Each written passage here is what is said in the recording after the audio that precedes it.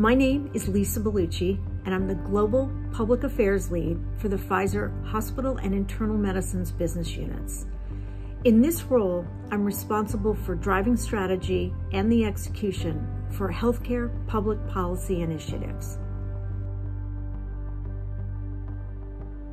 Early in the pandemic, we identified 77 medicines in our portfolio that were core to hospitals providing COVID-19 patients with supportive and critical care.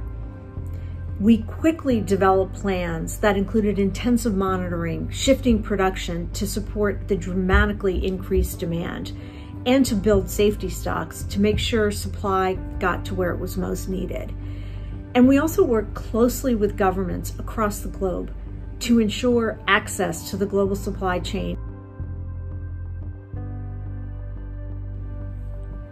The Kennedy School, with the global student body that I had the opportunity to study with and learn from, just broke open my approach to problem solving and creating solutions.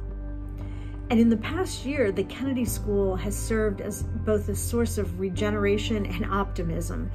Uh, I'm a member of the Dean's Council, and I very much looked forward to the regular meetings that were done virtually because it, it just gave me so much optimism about having all these brilliant people from different disciplines coming together to address the pandemic problems the pandemic was creating and coming up with solutions and ways way outside the box to address it.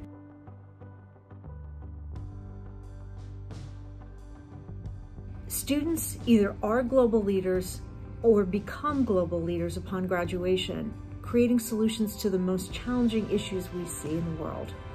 My financial support helps to ensure the opportunity for additional students to have the Harvard Kennedy School experience. And my time is a way of both continuing my learning journey as well as the opportunity to share and contribute my experiences.